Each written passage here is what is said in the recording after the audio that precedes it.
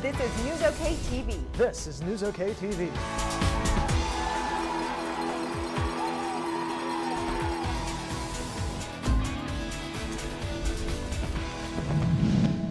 Well, it is time for News OK TV for Wednesday, September 14th, 2011. I'm Angi Bruss. Thanks for joining me. Local investors bought Crossroads Mall on Tuesday. Raptor Properties plans to keep the building open as a mall. The company paid $3.5 million for the property. Investors say they hope to work with Oklahoma City and South Oklahoma City Chamber officials to revive mall retail. Raptor officials say the building is still in good shape, but they will need to make some improvements on appearance. Crossroads Mall had been owned by the Federal Reserve Bank of New York since 2008. A local developer is moving forward with his plans for parking along the Bricktown Canal. Chris Johnson's plans call for street level parking on the inside curve of the canal, as well as additional parking along Mickey Mantle Drive.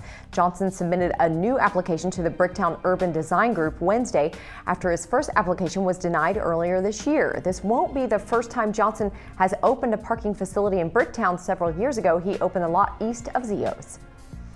A new designer line at Target created a shopping frenzy on Tuesday. Target's website crashed several times as shoppers logged on to see Missoni's new products. The 400 piece line includes everything from bikes to stationery to clothing. Several Oklahoma brewers will be pouring their beverages at the Great American Beer Festival. Local producers entering the contest include Battered Boar, Choc Beer, Coop Ale Works, and Marshall Brewing Company. The festival takes place in Denver on September 29th and runs through October 1st. Well, get ready for a cool down Oklahoma. Thursday's high may not even hit the 70 degree mark. Highs will be in the upper 60s on Thursday. There's a 60% chance of showers and storms, and the chance for rain continues through the weekend.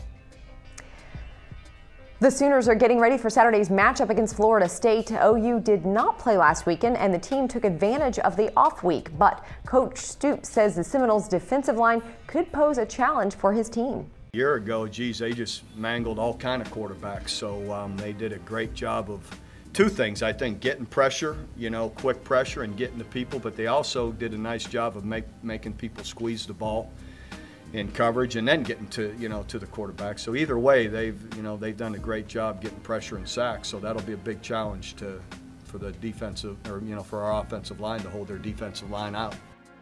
And Bob Stoops' mother says she won't be at the FSU OU game this weekend. Coach Stoops' brother Mark is the defensive coordinator for the Seminoles.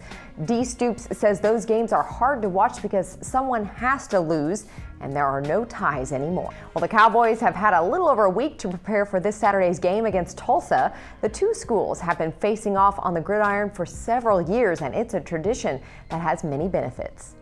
I think that it's uh, it's good that uh, we have an opportunity to play down the road and uh, uh, gives them a chance to fill up their stadium and gives us a chance to fill up our stadium. Uh, I think it's good for college football when fans can get to a game fairly easy everybody's so busy now with their own life that with kids and such that if they can get to a ball game and, and enjoy it, um, I think it's it's good for college footballs.